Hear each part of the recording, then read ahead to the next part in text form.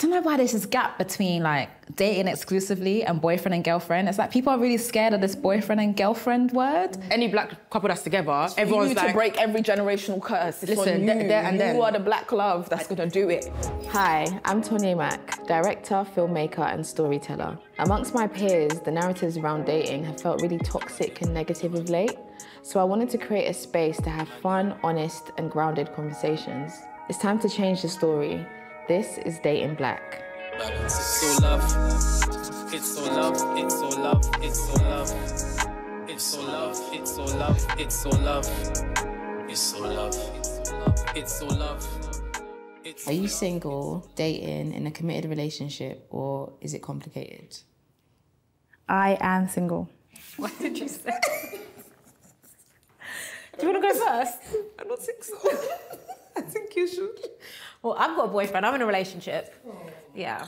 I'm single. Okay. Mhm. Do you want to elaborate on that? I am single. And um, yeah, no, I'm single, yeah. I was expecting to hear, yeah, and a situationship, maybe. I'm single.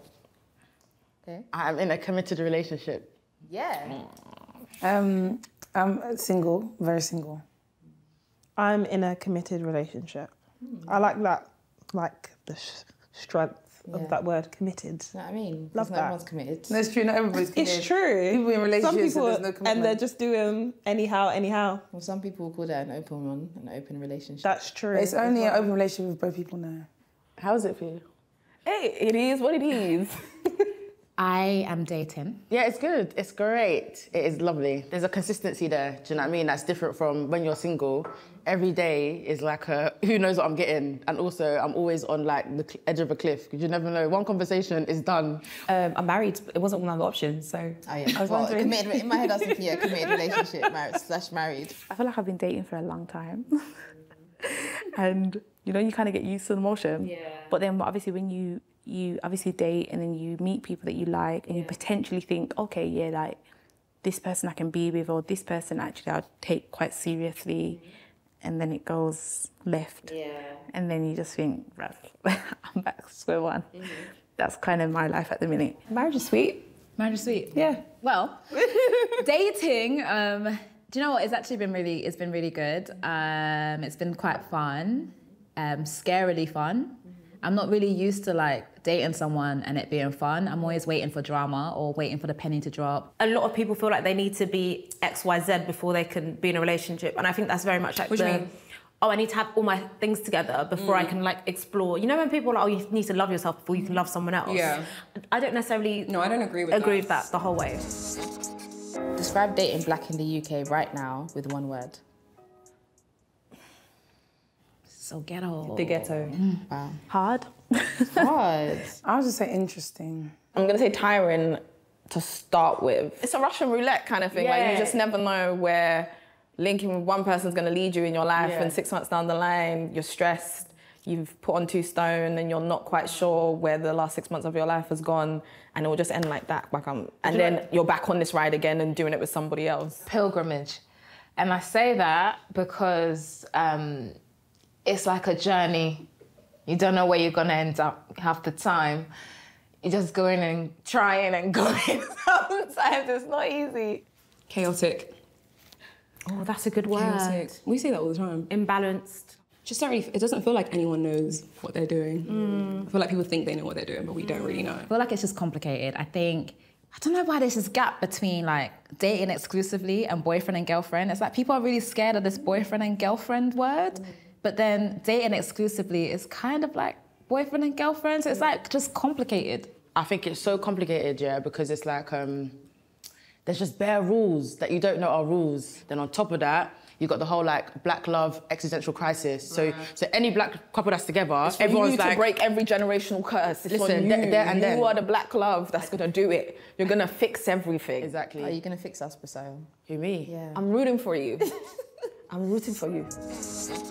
You like feel like there's a disconnect between black men and black women in the UK when it comes to dating because there's bare single men and single women. They're like, I can't mm. find nobody, but I'm like, mm. they're just all single. So what's, what's going on? I think different stages, different Definitely. stages, and people want different things. Mm-hmm. and people don't necessarily always date the people that want the same things as them. Mm. They try and remold mm-hmm. others when you could just go date someone that wants something else, that yeah. you want. I think there's a big disconnect with what men think women want and what women think men want. I think a lot of men think women want this alpha protector guy that can provide all the most money, do everything for you, and in reality, some women just want a guy who's got emotional intelligence. when you get to a certain space where you like you kind of know what you want to like become and type of person you want to date you kind of know like the kind of life you want to live mm-hmm. it becomes harder because i feel like the pool becomes smaller. Women think men want this kind of like figure of a woman who's got this body or who's got this certain type of presence when sometimes men just want women who will just be there for them emotionally as well. I do think that, like, you know, the image of like a woman, what I guess me and my friends would describe as a bad bee. Like, I do think men do want that up to a point. And then when they get to an age where they feel like they are ready to settle down, then they're like, oh, okay, it's not necessarily about chasing someone who, you know, is a Instagram baddie, but someone who's like, I guess, more wholesome, someone that I can take home to my parents and be a wife. When we say bad B, we mean the trending woman, basically. Because I think it's evolved over the years from the baddie that was Mar- what's her Marilyn Monroe, you know, to the mm. baddie today of the baddies on Instagram. Like mm. it's just about that trending woman that men think that they want, but don't necessarily know if they want them. And there's absolutely nothing wrong with being a baddie. Like, I, if, Absolute, y'all. if I wasn't a founder, I'll be a baddie. Like, I always say that. Why do you know what I mean? both? I feel like you're both. It's a lot of work. Do you know what I mean? It's a lot of work to be a baddie. A lot and of money. professional Yeah, baddie. upkeep. Like That's the I word. barely put my wig on. I barely comb my wig. Do you You know gotta I be doing your nails frequently. Yeah. You got to be lashes. You can't be like waiting until the end of the period for them. three. I think sometimes some of the issues that we see on social media just don't correlate to the things we experience in real life.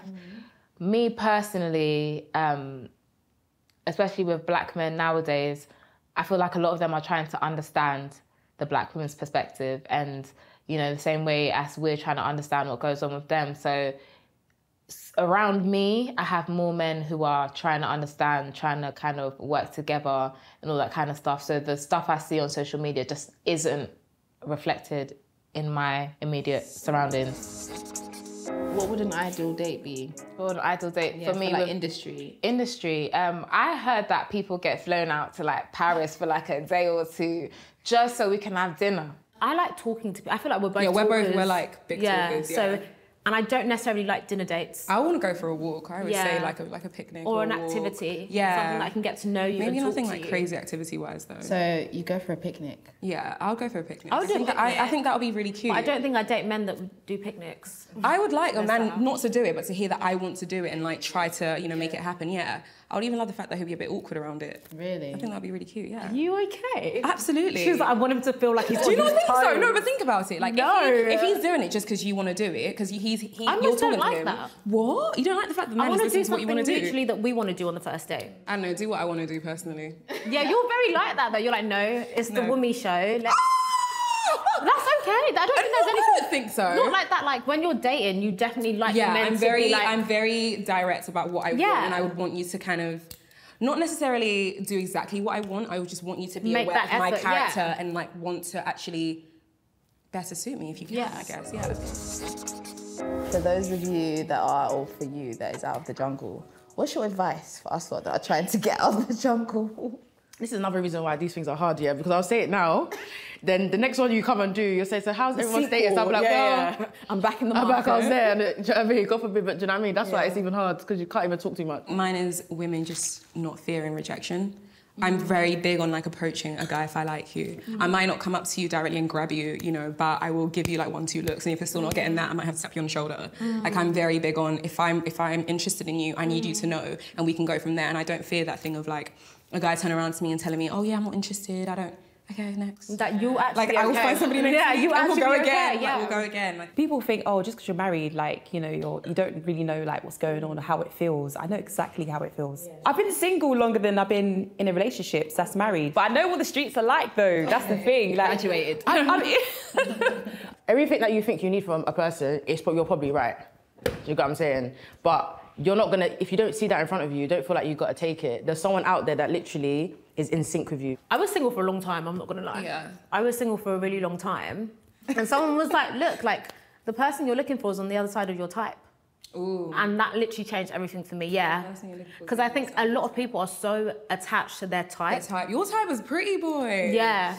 like my like She with no like, brain "I want a cells. Like no disrespect to anyone, but literally like pretty but not much substance. Yeah. People wanting something with their eyes, but it's like their energy or their spirit isn't aligned, and you're just fighting that because you're like, oh, this person looks peng, but my spirit ain't feeling it, but I'm still here because it seems like something I want, or even vice versa. You might be like, oh, this is the person I want, but because they don't look a certain way, I'm not gonna. I can't have it, yeah, I can't I have can't it. Or take what am I gonna tell my friends? that, yeah, how do I explain to everybody his hairline and all that Especially- stuff? And, yeah. and that's your person. That's actually your personal But person. most, most of the times, because you're online, mm. telling the world that if she hasn't got one head, four eyes, seven, that she's can't not, be she's not she can't be baddie. wife, and you she's go and bring someone with three heads in front of us They you tell us not to say nothing. Yeah. Well, there you go. Like, chance him in it.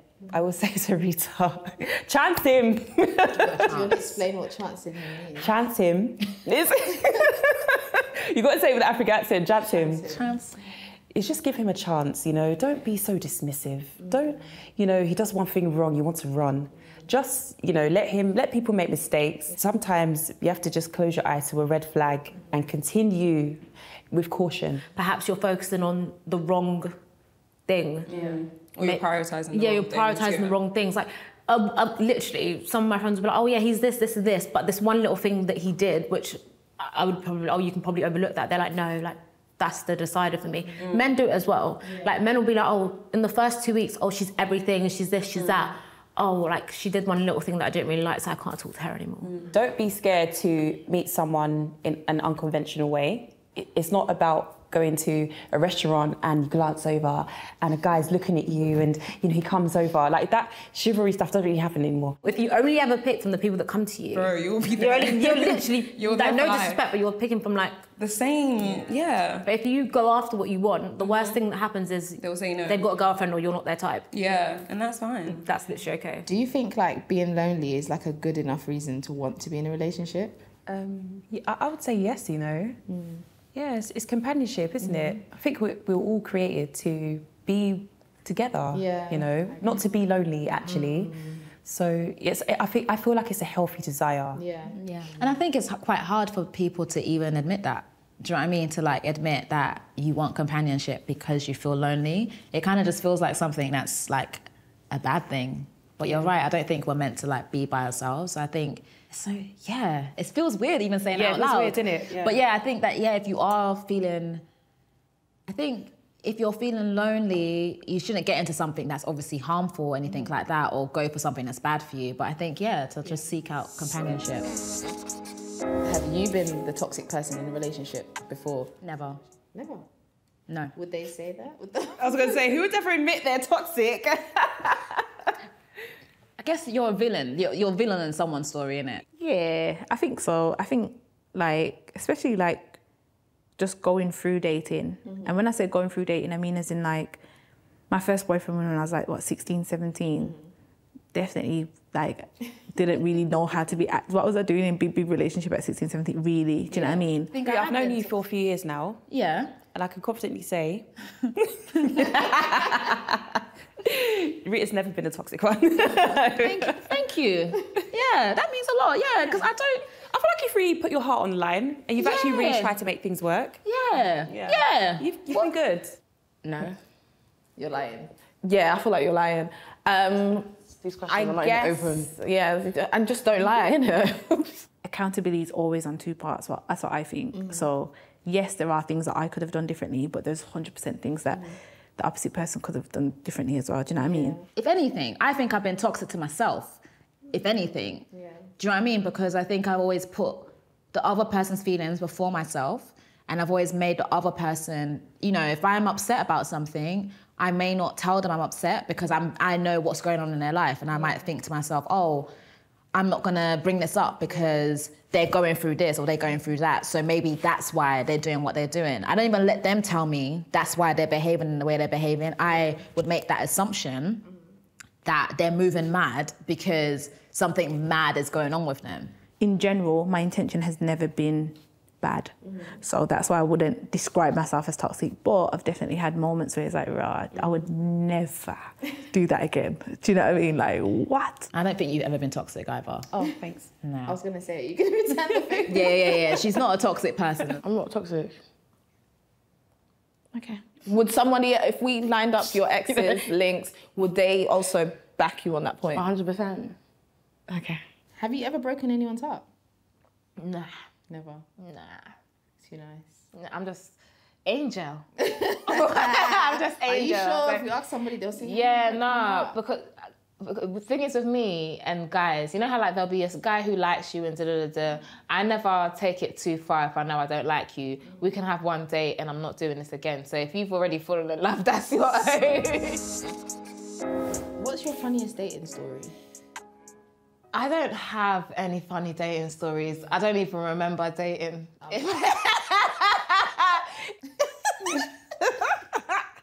This is so embarrassing, yeah. And the person who was with, please do not speak up, there's no need. But basically, I was on, I think the person I was dating came to pick me up from like a party. Um, and he came to like pick me up in his car. Then obviously I go in the car, yeah, and then like, I just lipsing and stuff, yeah. And the next thing you know, like, I just feel a gush of wind, yeah. And then my wig fell off.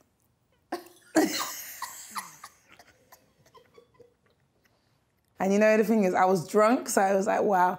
And instead of me to just put slip it back on, because you know when you're on lips in, mid lips, a lot of stuff. Your eyes are closed anyway. Yeah. Yeah. Yeah. But then I screamed. I was like, ah! and he was like, what's wrong? Then he saw, obviously, and realised. Do you know what? Yeah, I actually because this was a hard, this is hard for me to even come up with an answer because I feel like my whole dating in my twenties has been an ongoing joke. Mm-hmm. Like It's an ongoing joke. I think it's just been ongoing. Like I think like from the guy that you actually thought that you were going out with, but it was in your head, mm. like because he he weren't going out with you. to me, that's a joke? Like. And that's just ongoing. Do you know what I mean? Like, how are you dating someone and they don't know that you're dating them? I kind of started to feel a bit like a, a bit of a, a bit of a twat, a bit, a bit silly, just because I'm thinking, so okay, cool. So you haven't been on this long, but you've had guys in your life. So why aren't you dating? I was really sick this time. One time, I had a cold, and I told him I had a cold. So my replies were really slow. We are meant to meet up the next week. So obviously it was Wednesday. We meant to meet up on Thursday. I was like, oh yeah, are we still gonna meet up? He was all like, nah, man, um, I don't think we're gonna do that anymore. I was like, why? He goes, yeah, your replies were slow. I was like, I was sick. And he goes, yeah, but you know, I just gotta respect myself. I was like, There's this guy that went to my uni, and we left uni, and he started talking to me, and I was like, oh, hey, like, didn't think anything, and I'm quite like a friendly person, so I don't. All you have to make it very clear to me that you're into me, otherwise I just think you're cool. Do you know what I mean? And um, anyway, he made it clear that, oh yeah, I want to take you on a date. So I was like, oh sick, okay, cool, like we can do that. Got ready, was ready, whatever. Then I just didn't hear from him. Oh wow. You just disappeared. Like that day. And Like- then what happened after? Like I just no, I just didn't. That's what I mean. like we were talking up until like maybe about an hour, an hour and a half. So you never like bumped into him or anything like that? N- nothing.